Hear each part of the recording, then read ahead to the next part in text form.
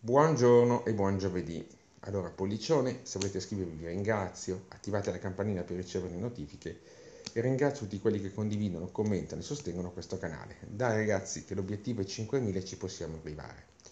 Allora, prima di tutto, ieri sono partite le ricariche delle carte acquisto. Ovviamente sapete che funzionano a spezzatino, quindi eh, sappiamo che sono partite, poi quando ve la troverete però è, è un enigma. Io spero più presto possibile, però è un enigma. Poi sono venute fuori altre informazioni che riguardano l'SFL. Eh, allora, la maggior parte dei posti di lavoro, posto che esistano veramente quei posti di lavoro, è concentrata al nord, soprattutto quelli specializzati, dove c'è la percentuale maggiore di ex percettori RDC al sud, dove ci sono pochi posti e ci sono pochi corsi, mentre al nord ce ne sono di più. Secondo la, la ricottara e la calda rostaia, eh, questa misura avrebbe aiutato la gente soprattutto al sud. E ale, Pinocchio al confronto era la fonte della verità. E poi ve l'ho detto, io di, questi, di queste offerte, io su, qualche, su queste offerte qualche dubbio ce l'ho. Ce l'ho che siano effettive. Detto questo, ehm, sono contento che altri di voi abbiano modificato il proprio stato. Spero che succeda a tutti al più presto. Lo spero con tutto il cuore. Però l'unica cosa che potete fare è controllare. Se non avete lo speed per controllare direttamente voi, eh, potreste, potete rivolgervi a un CAF, il CAF ha l'accesso operatore, quindi può vedere esattamente com'è la vostra situazione senza grandi difficoltà. Per il resto, ragazzi, questo è un governo che oltre ad essere composto da pinocchi arroganti e rozzi, è un governo che sta riesumando metodologie simili a quelle del tempi del mascellone. In fondo che differenza c'è tra la carta dedicata a te e le, la carta eventuale oppure la ricarica eventuale aggiuntiva eh, per il carburante, che differenza c'è tra quelle carte e le tessere annonarie che davano ai tempi del mascellone? Nessuna. Il principio è sempre quello, una soluzione mm, malfatta di brevissimo respiro che non risolve il problema di fondo. Là il problema era di un tipo, qui il problema di un altro, ma di fondo queste cose non risolvono la situazione, semplicemente danno quella giustatina del minuto che purtroppo nella testa di troppi italiani rappresenta una, un grande vantaggio, una grande, una grande soluzione.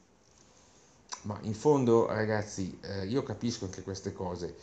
Sotto un video in cui Italo Arte Orale, l'uomo che ha la spina dorsale di una lumaca, eh, definiva il bonus, eh, il super bonus, una truffa e, e altre parole, e ovviamente veniva insultato da, giustamente, tra l'altro, da, da altri, i commenti sotto, è vero, boh, eh, boh, quello lì, eh, la Levinsky italiana, ecco, eh, ha ragione, tutte queste stronzate qua.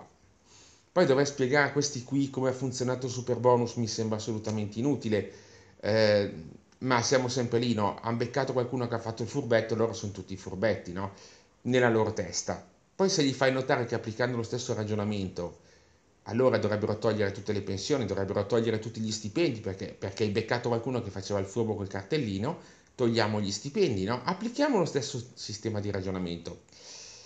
Ma ragazzi, è, è come spiegare a un lobotomizzato eh, fisica nucleare, non serve a niente, perché sono troppo, in, sono troppo imbevuti di, detto, di, di autoreferenzialismo, per cui io su questo argomento spero di non doverci tornare, ma non perché non voglio, eh, cioè perché spero che non sia più necessario, anche se so che ve l'ho detto, i leoni da tastiera, anzi i conigli bagnati da tastiera, si riproducono appunto come i conigli. E, eh, il stesso tipo di ragionamento che magari fanno verso il percettore l'hanno fatto magari sui fatti di Palermo, sui fatti di Fiuggi, altre cose.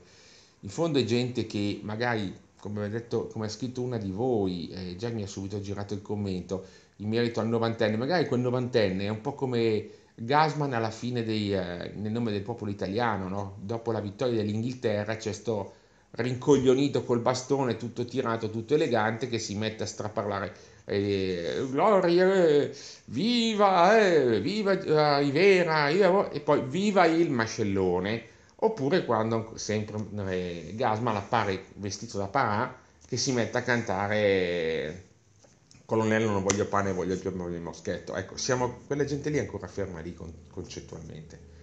Cioè non è che sono usciti da, quella, da quel modo di pensare. E siccome adesso non c'è un determinato bersaglio, per loro il bersaglio sono i poveri. Poi quando diventeranno poveri loro ne discuteremo, perché andando avanti così tra un po' mh, mm, sarà duro anche per quelli che ne prendono 1500 di pensione.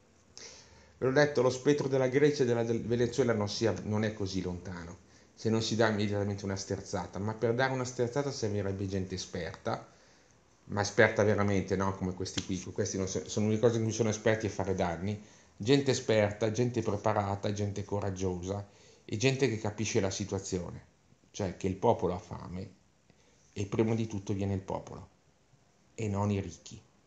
Per cui io pelo i ricchi per dare ai poveri. Io pelo i ricchi per darli al popolo, perché il popolo è la nazione e non un'elite. Il popolo è la nazione e la nazione è il popolo. Ciao a tutti gente.